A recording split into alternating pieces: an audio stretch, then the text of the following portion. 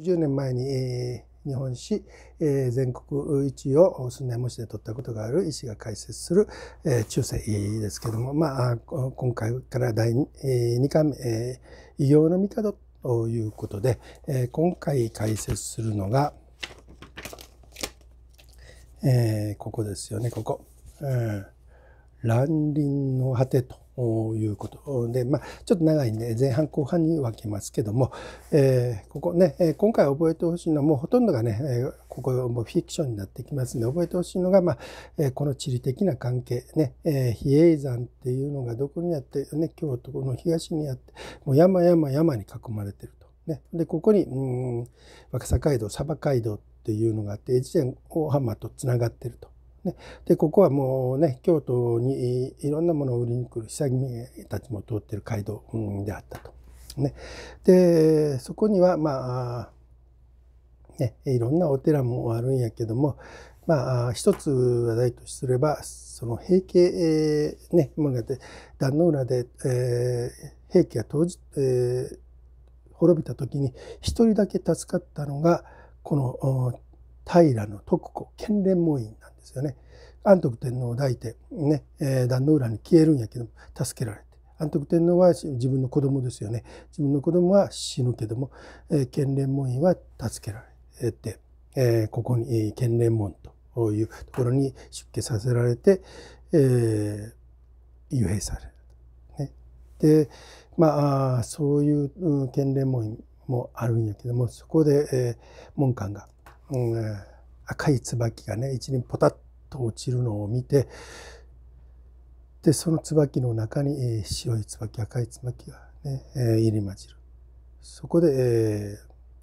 ー、百幕二体二体今後ね赤すなわち母の因白すなわち父の因男女を名号して、えー、成仏に至るというね、えー、お経を唱えるということになります。ね、で今回はこの、ねえー、2, 巻目で、えー、この旅っていうのは文化の旅っていうのは、えー、ここでは大和の般若寺の本尊の文字菩薩像をね、作るための肝心と。いうことで、これ、摂取は伊賀金光。ね、ここは六原。これは史実なんですけど、六原のね、有力御家人になる。でそこの肝心の旅では長々としなんかとも門下が知り合ったりしてるんでもう門下って、ね、一流の肝心層になったんでこの、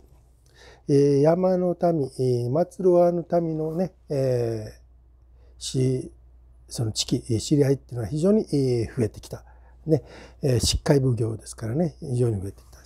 ね、そういう、まあ、棟梁なんでその中で今回は、えー、八瀬の方の岸丸に会いに行く岸丸っていうのは八瀬の木こり、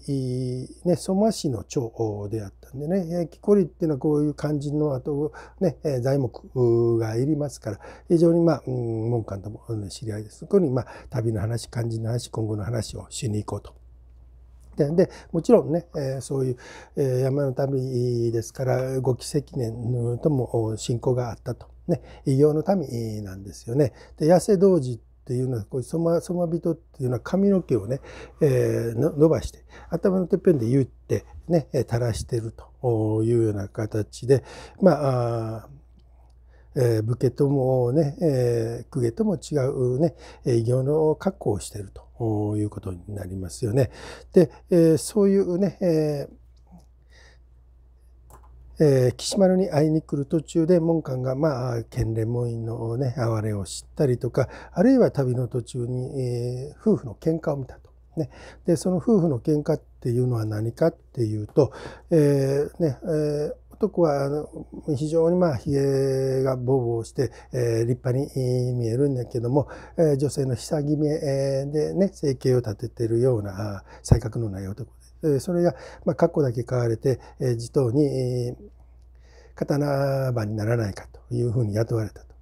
で、えーねえー、妻女房はね、えそれを見てそんな雇われてただ使い捨てられるだけもう、え殺されて死んじゃうだけですってだからやめてって言うけどもまあ、うん、主人は主人でね、えー、女を少しでも女房を少しでも楽にしたいということで、えー、定職に就きたいんやということで絶対行くとか行けへんとかっていうようなことで喧嘩になった。でも出ていけって話になって、えー、出てって、えー、女性が、うん、半月ほど半時ほどして、えー、たくさんのね久木目の仲間を連れてきた。で何か面白いことやなって門官が、えーね、見に行くとその膝決めの仲間たちが、えー、その、ね、女房の夫を捕まえて倒して、えー、ひげを剃り始めたんですよね。でひげを剃り始めてひげをね、えー、剃っちゃうとただの野菜法則に戻るんですよね。でしょぼっとしてると。で、えー、その時に門官が、うん、夫婦の愛を感じたんですよね。えー、夫は妻を楽にしたい。妻は夫の命を大切にしたい。ねえー、だからまあそういうね、えー、夫婦仲の良い夫婦にはねやっぱりこの、うん、立川流があるに違うかという形で、えー、門官が授けたお札が、えー、この商店さん、ねえー、商店札を授けてこれですよね、えー、商店札を授けて、えーねえー、男女、ねえー、今後が、えー、菩薩になるんやと、ねえー、いうことで、ねえー、妙的正常の句。これ菩薩になりと。いうお経呪文のお経を唱えようと。ういうことで、えー、これからも仲良くっていうエピソードがあって、ねえー、夫婦の愛っていうのが、えー、菩薩仏の道に連なるんだということ。ね。えー、それをまあ門官がその夫婦の中に見たというエピソードがあって、まあえー、そういうエピソードを持ちながらね、えー、門官がごきせ、えー、岸丸のところに、ね、行く道中で、えー、今度は、えー永山の中で、えー、女子袖と内ばかまこれって、えー、久姫のそういうね、えー、姿ではなしに宮中の姿なんで、えー、その女が逃げてきて、えー、門下のね、えー、ところで助けてくださいということだったんで、まあ、何かあね、えー、非常にまあ不安げな形になったんで少し隠れているようにということで、えー、女性を隠すとそこに、えー、奉仕、ね、僧兵が、比叡山の僧兵が2人現れて、ね、で、女の行方を問うて、で、隠し立てすると、ただでおかんそこということで、その奉仕に殺気を感じて、ね、うん、で、何、何やるということになると、えー、門官をね、えー、撃ち殺そうとする。で門官は、えー、今まで習ってきた捨て銃の呪術でその二人をやっつけて、えー、女性をかくまいながらあ連れながら、えー、岸丸の、うん、屋敷に向かうと。で、えー、岸丸の屋敷でその女性を解放しているとその女性の話によると、えー、自分はもうね、え、名前もない、ねえー女性というか名前も付けられずに今まで、えもう19になったんで育ってきたと。でそこには8人同じような境遇の女性があると。それが 2, 層に、ね、監視されてあるいは僧兵に厳重に監視されてそこに幽閉されてるんやと。で、えー、一体ね、どういうことかっていうと、まあ、世間も何も知らなかったけどある時45年前にね4歳の物心ついた子供が一人来て、えー、末姫と呼ばれててお父さんもお母さんもいるんやっていうようなね疑いもない話をしてそこでね、えー、父母ね、えー、あるいは名前っていうのが何ってその8人の女性がざわついて。ね、でざわついた中で、えーその二層に問いかけると、えー、そんなものはないんやとあなたらは物心つかない前からここにいてるんやということで、えー、その新しく入ってきたあ、ねえ、4歳の子供がどこかへ連れ去られてもうそれ以降神隠しにあったようにいなくなった。えその後は一番年上のね、えー、娘が今度は本当に逃げようとしたら、えー、翌日帰ってきたのはえー、子育ての中に入った片上だけ。ね。で、天狗に食われたんやという話。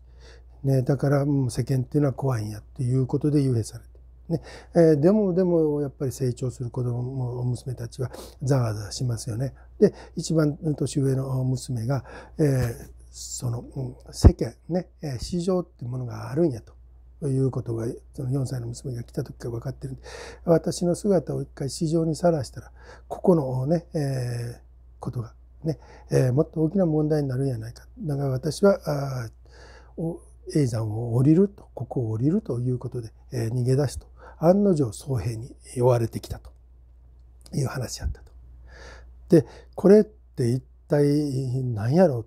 ということに、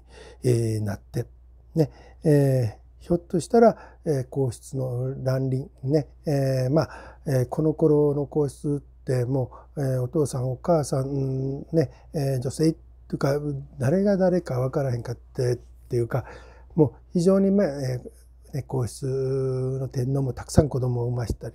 するんで何かそこの皇室あるいは貴族との関係するやんごとなき身分の子供たちが幽閉されてるかもわからへん。ね、えー、永山に幽閉されてるんかもわからへんで